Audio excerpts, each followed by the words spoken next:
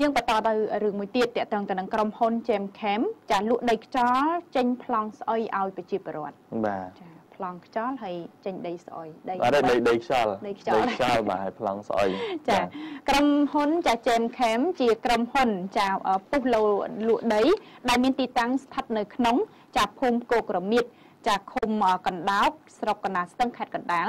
ក្រោយពីបងប្អូនប្រជាពលរដ្ឋចាប់ផ្ដើមនាំគ្នាទៅទិញដីរបស់ក្រុមហ៊ុនខាងលើម្នាក់ម្នាក់អស់រាប់រយពាន់ម៉ឺនដុល្លារក៏ប៉ុន្តែលទ្ធផលសុទ្ធតែដីខ្យល់មានតែក្នុងប្លង់លើក្រដាស់ចាធាតប៉ិតពុំមានដីប៉ិតប្រកាសជូនអតិថិជនឡើយបន្ទាប់ពីបងប្អូនប្រជាពលរដ្ឋត្រូវការសាងសង់លំនៅឋានរកដីខ្លួនឯងមិនឃើញបានត្រឹមតែកាន់ឯកសារស្អុយទើបនាំគ្នាតវ៉ាសាកសួរក្រុមហ៊ុនចាលេះម្ដងថាចាំពេលនេះម្ដងថាចាំពេលនោះ អូសបន្លាយពេលវេលា10ឆ្នាំមកហើយរហូតមកដល់រសៀលថ្ងៃទី7ខែមិថុនាឆ្នាំ2017ទៅប្រជាពលរដ្ឋរងគ្រោះចារាប់រយគ្រួសាររាប់រយនាក់លើកគ្នាមកតវ៉ាទាមទាររកដីពិតរបស់ខ្លួនដល់ក្រុមហ៊ុន Gem Chem ស្ថិតនៅស្នាក់នៅ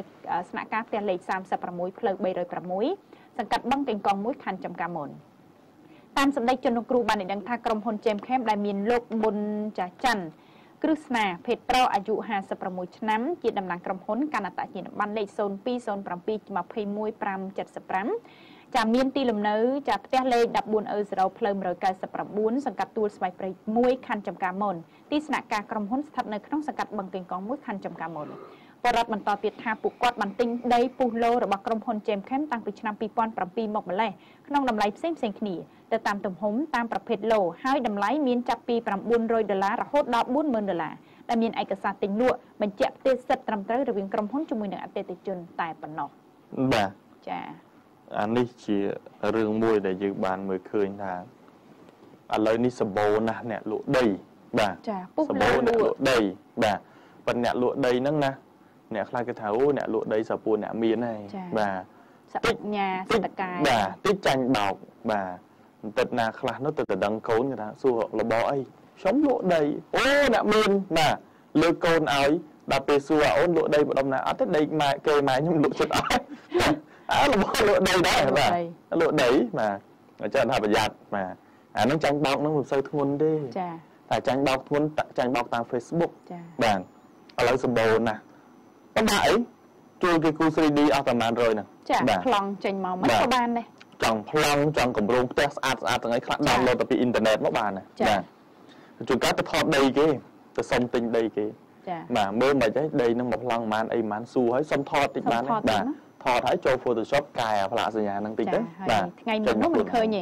ឈ្មោះកដាលក់ដីម្នាក់ហ្នឹងគាត់មានរូបថតជាមួយអុកញ៉ាចាដែលមានឈ្មោះរបស់សម្លេងក្នុងប្រទេសកម្ពុជារបស់យើងណា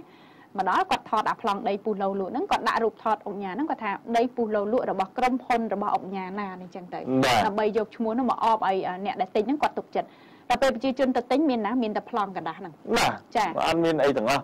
នេះមិនខុសពីការបោកឲ្យក្រុមហ៊ុន EBC កន្លងទៅណាសិតតែបោកអញ្ចឹងអារូបភាពអញ្ចឹងបាទអញ្ចឹងមិនថានេះជា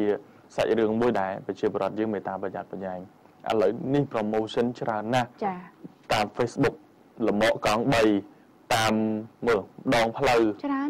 ដាក់ផ្លាកបើថាចង់ជិះទៅខេត្តវិញជិះទៅមើលទៅតាមផ្លូវសិតតែកន្លែងដីលក់ដីលក់ដីលក់បាទពុះលោលលក់បាទគេថាប្រទេសកំពុងតែអភិវឌ្ឍណាឱកាសនៃឈ្មួញនិងអ្នកបោកប្រាស់ហ្នឹងក៏វាច្រើនដែរចាឱកាសពិសេសមកដល់ទៀតហើយបាទដឹងតែបានត្មងបាទដល់ពេលដាក់ទៅមែនបានបាទបានវ៉ាន់លានដុល្លារ បាទប្រជាជនខ្មែរតែដៃហូរប្រាវបានវ៉ាលានដុល្លារប៉ុន្តែមិនបានវ៉ាលានមកប្រជាជនទេបានតកែដីទៅហើយសួរណាដីដីហ៎ដីទាំងទៅណាផងចាហើយអ្នកដែលចាញ់បោកនេះច្រើនគ្រួសារនេះមិនមែនទើបតែចាញ់បោកមួយខែពីរណា10ឆ្នាំណាចឹងមិនថាតាំងពី2007បាទ2007អង្គការនោះ2007កំពុងតែឡើងតិចតិច2008ឡើងខ្លាំងហើយក៏ធ្លាក់ខ្លាំងដែរបាទវិបត្តិសេដ្ឋកិច្ចពពុះសាប៊ូនោះឡើងមកផ្លែតចុះវឹបបាទវិបត្តិសេដ្ឋកិច្ចពិភពលោកកាលនោះ ហើយរឿងនេះជារឿងមួយដែលមិនមិននិយាយទៅថាអេលបគ្នាខំរស៊ីមានកំណត់ទេបានចេះទិញដីមិនបង្អាក់ទេណាការដែលបងប្អូនប្រជាពលរដ្ឋសល់លុយយកលុយទៅវិនិយោគជាមួយដីជាមួយអីហ្នឹងថារាប់ថាមានកំណត់ហើយល្អប៉ុន្តែប៉ុន្តែត្រង់ថាកំទិញអីមួយគិតថាកម្ពុជាជាប្រទេសដែលស្រួលកិច្ចពីច្បាប់កន្លងមកចូលចិត្តអារឿងចូលចិត្តកិច្ចពីច្បាប់ ចូលចិត្តកិច្ចច្បាប់មិនតែកែដីនិយាយពីទៅធ្វើបាបបង្ហាញយល់បាទគឺបង្ហាញទៅពីរឿងកិច្ចច្បាប់គឺសុបងដីនឹងមានប្លង់ហើយអូយកុំតែភ័យអូនរត់ការតែបន្តិចបានឯប្លង់ខ្ញុំកាន់កាប់យូរហើយដល់ពេលរត់ការឯកសារអត់បានធ្វើម៉េចបងមិនមានប្លង់អត់ខ្ញុំចាំមើលរហូតលោកនេះជួយចាមានខ្សែមានខ្សែបាទហើយខ្លះបងដីនឹងសម្បទានដូចប៉ុណ្ណេះឆ្នាំទេហើយខ្ញុំទិញតម្លៃប៉ុណ្ណឹងមិនថ្លៃពេកអត់អីទេ ធ្វើតែអញ្ចឹងដំបូងទេតែបន្តិចទៅវាឡើងទៅអញ្ចឹងចាំបាទទៅចាំទៅបាទស្ថាប័នមានសមត្ថកិច្ចយើងមិនលោកទៅចាញ់បោកអស់នឹងណាបាទហើយអ្នកបោកគឺពីសម្ដីផ្អែមណាអារឿងហ្នឹងហើយដែលធ្វើឲ្យប្រជាពលរដ្ឋយើងគាត់គិតថាអើល្មមល្មមបើដីស្របច្បាប់ប្រហែលជាវាមិនវាមិនធូរថ្លៃអញ្ចឹងទេទិញអញ្ចឹងសិនទៅចាំរកឱកាសបានសុំលុយគេប្រហែលដីនឹងស្របច្បាប់វិញហើយមិនសង្ឃឹមអញ្ចឹងច្រើនប្រហែលទេណាព្រោះពេលខ្លះ មិនប្រកាសថាញាធរសិទ្ធិត្រូវចេញឲ្យទេបើដីខ្លះមើលទៅថាលទ្ធភាពដែលចេញឲ្យបានចេញឲ្យបើលទ្ធភាពចេញឲ្យមិនបានដាក់ទៅប៉ះពាល់ដីគេធ្វើម៉េចបាទអាហ្នឹងរឿងមួយហើយរឿងមួយទៀតរឿងជួលផ្ទះគេបាទជួលផ្ទះហ្នឹងយ៉ាងម៉េច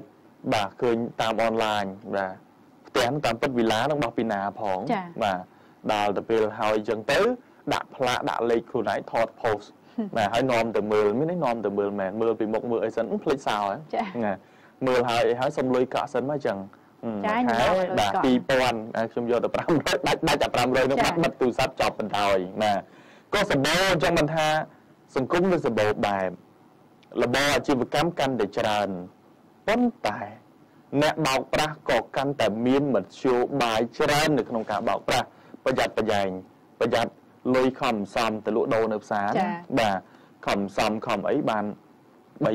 5000គិតថា 3 4 5000មើល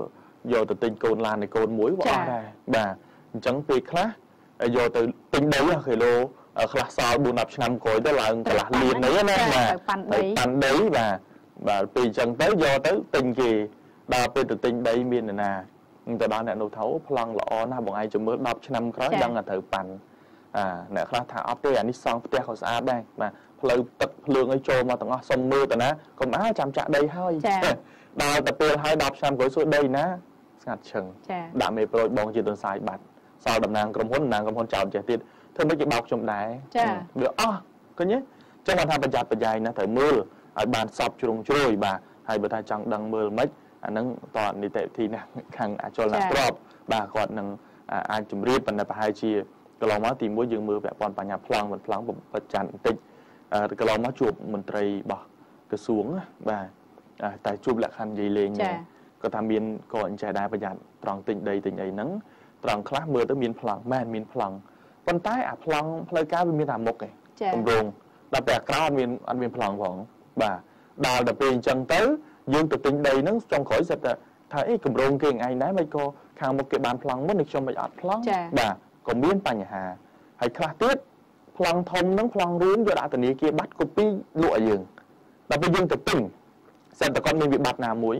ធនាគារកាត់ប្តឹងលក់ឡាយឡងរបស់គាត់បាត់យើងគិតអ្មេច Vivo រឿងហ្នឹងជារឿងមួយដែលសូមឲ្យបងប្អូនប្រជាពលរដ្ឋយើងមេត្តាគិតនិងពិចារណាលើរឿងនឹងដែរថាតើមុននឹងទិញនឹងត្រូវ